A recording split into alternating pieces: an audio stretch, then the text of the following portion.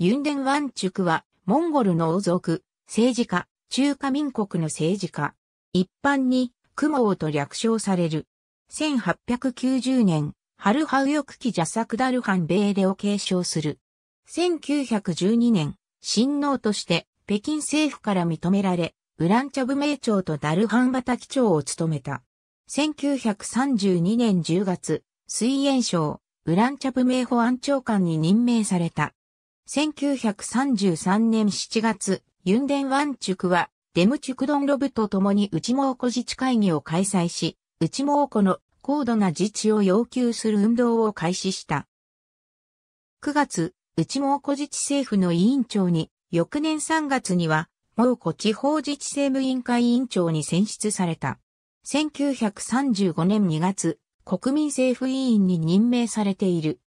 1936年5月、日本軍の援助、介入により、蒙古軍政府が成立すると、ユンデンワンチュクが主席に、デムチュクドンロブが総裁に、それぞれ選出された。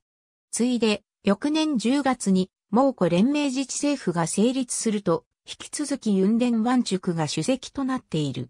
1938年3月24日、68歳で病没。ありがとうございます。